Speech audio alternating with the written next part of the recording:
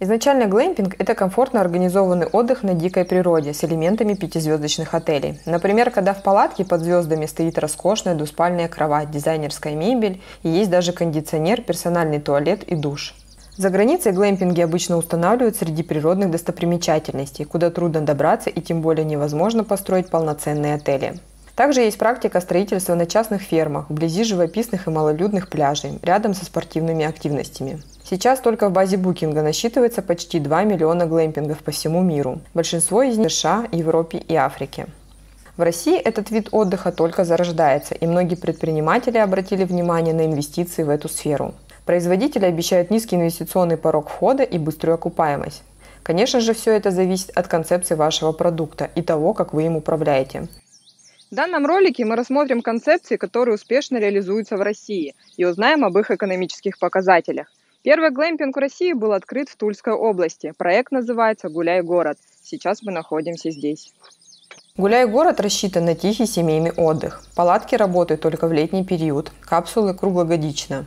Средняя стоимость, к примеру, сафари тентов 6,5 тысяч рублей. В летний период загрузка составляет 60% и очень зависит от погоды. Из дополнительной инфраструктуры – ресторан, баня, костровище, детская и спортивная площадка, прокат лодок. Средняя продолжительность проживания гостей – 1-2 дня. Процент возврата гостей очень низкий. Отель планирует расширять номерной фонд. Собственники арендовали дополнительно соседний участок. В данный момент своими силами делаются сафари-тенты. Каркас из обрезной доски, который обжигается вручную. Закупили материал для палаток, который отшивает частное ателье. Такие палатки будут намного дешевле, чем покупать готовые комплекты.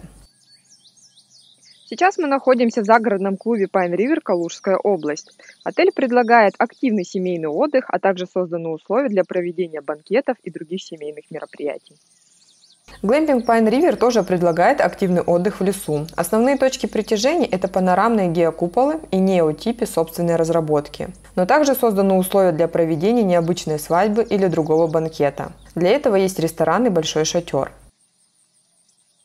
Сферы можно арендовать только в летнее время, неотипе – круглогодично. Средняя стоимость сферы – 8 тысяч рублей, неотипе – 15 тысяч. Загрузка глэмпинга в летнее время более 90%. Глэмпинг приносит прибыль по году. В дальнейшем отель планирует расширять номерной фонд. Уже заказаны более комфортабельные сферы и неотипи. Также строится новая банкетная площадка, рассчитанная для проведения не только частных мероприятий, но и деловых.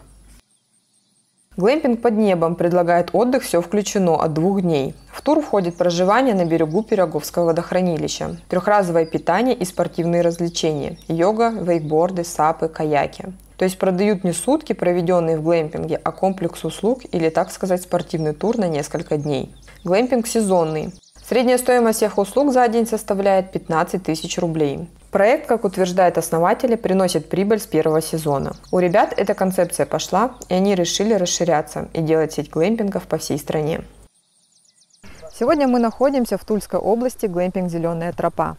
Отель предлагает тихий отдых на природе с деревенским видом из окна. На территории находится несколько видов модулей, которые мы сейчас и посмотрим.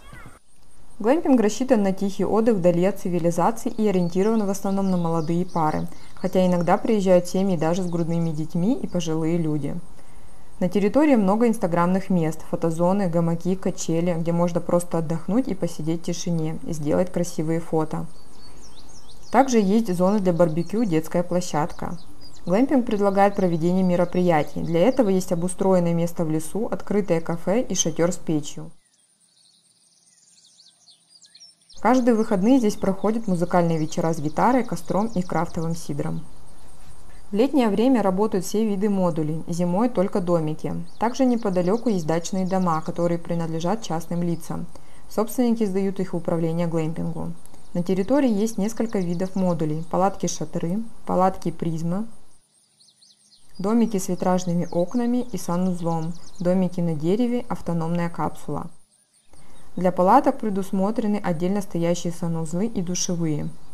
Питание происходит на открытой летней веранде по системе «Шведский стол». Каждый год собственники добавляют модули, тем самым увеличивая номерной фонд и доход, а также в этом 2021 году начали строить еще один глэмпинг в Тульской области по такой же концепции.